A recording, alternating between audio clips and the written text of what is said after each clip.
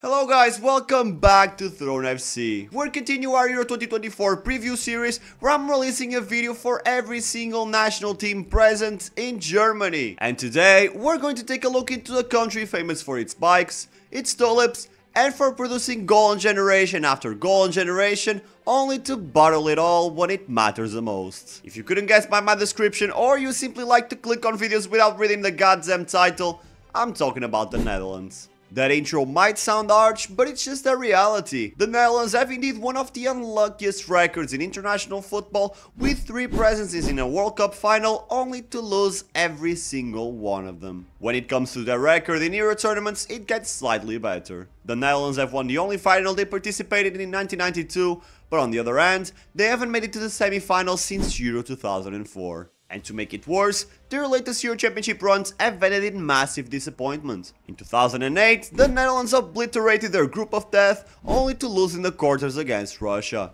In 2012, they were placed in another group of death alongside Portugal, Germany and Denmark and while you could excuse them for not progressing to the next stage, I have to remind you that they came to the tournament as World Cup finalists and ended up in 4th place. From 2016 until 2021, the Netherlands would miss out on the next two international tournaments before making a comeback in Euro 2020. Similarly to what happened in 2008, they were terrific in the group stage, 3 wins in 3 matches, but in the round of 16, they collapsed against Czechia.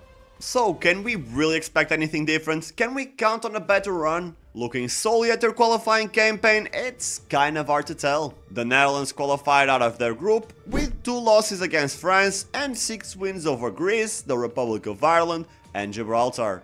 In the recent friendlies, they were able to thrash Scotland, but lost against Germany. When it comes to their latest appearance in the Nations League Final Four, they lost against Croatia and Italy. Do you see the pattern? The Dutch possess a solid collective of players, especially when it comes to midfield and defense that guarantees them a slight edge against inferior opponents. But when they go up against the cream of the crop, their forwards are just not good enough. Which is kind of ironic considering that Memphis Depay is only 6 goals away from breaking Van Persie's record and becoming the country's top scorer ever. But if you've been watching football for the past 10 to 15 years, I don't think I have to elaborate too much on how big of a difference there is between the Dutch attacking prowess from let's say the 2000s or early 2010s and nowadays. But still, even though their squad isn't as intimidating as it once was, perhaps the Netherlands' greatest problem is their own coach. There are doubts about Koeman's ability to lead this generation of players and the process since his reappointment has been anything but smooth sailing, with several uninspiring performances and questionable team selections. Furthermore, they have struggled with the long-standing issue of players not being able to replicate their club form at the international level.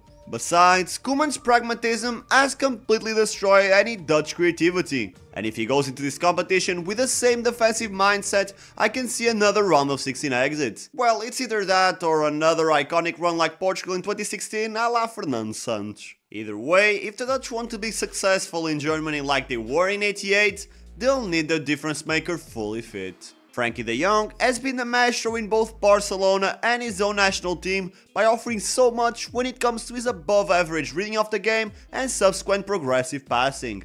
Not only that, but he's also pretty decent when it comes to defending as well. The problem with de Jong and why he isn't as celebrated as other players like Rodri for example is that he's always injured. But like I mentioned in other preview videos, Euro 2024 is a short tournament and it's much easier to leave a mark compared to a regular season. So if his recovery goes according to plan, he'll be in Germany to lead the Netherlands midfield. Now, how will the Orange actually line up? There is a good chance Koeman will stick with 3 at the back and Stefan de Vrij is likely to get the nod ahead of Van de Ven and Matthijs de Ligt purely based on experience, with Van Dijk and Aké almost certain starters. Regarding the goalkeepers, Bart Verbruggen is currently holding the Netherlands number 1 jersey, but his position is by no means safe. He only got his first opportunities when Mark Flekken suffered an injury, but since the Brentford player has endured a good run of form in the last couple of months, I assume Koeman will give him back the number 1 role, especially if you take in consideration his higher level of experience. Moving on to the midfield, Frenkie de Jong has a spot safe for him, like I told you earlier. Meanwhile, Jerdy Schouten is said to be the Dutch playmaker's right-hand man, having been one of PSV's stand-up performers during their run to the glory and Champions League knockout stages.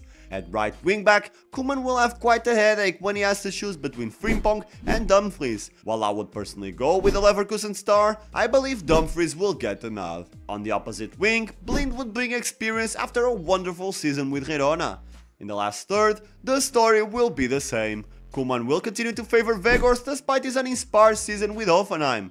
Cody Gakpo will likely sit just behind Weghorst alongside Paris Saint-Germain starlets Xavi Simons who has enjoyed a superb individual campaign on loan at RB Leipzig. Plus, you can't forget Memphis Depay and most importantly Joshua Zirkzee who could give a new breath of life into the Dutch attack. So, with all of that in mind, what can we expect the Netherlands to achieve in the group stage? International tournaments are obviously tricky to predict because it's rarely a black and white situation, but I'll continue to go with my rational side and pick the Netherlands to finish in second place with 6 points. A comfortable win over Poland in the first match, followed by a loss against France and a dramatic win over Austria in the last match day to guarantee the second place in the group. But what do you think? Can the Netherlands shut their critics up or will they continue to disappoint? Let me know what you think in the comments and don't forget to subscribe because right now that we're getting close to Euros, I'm releasing 4 videos a week previewing every nation till we're basically done with all the teams. Thank you for watching until the end.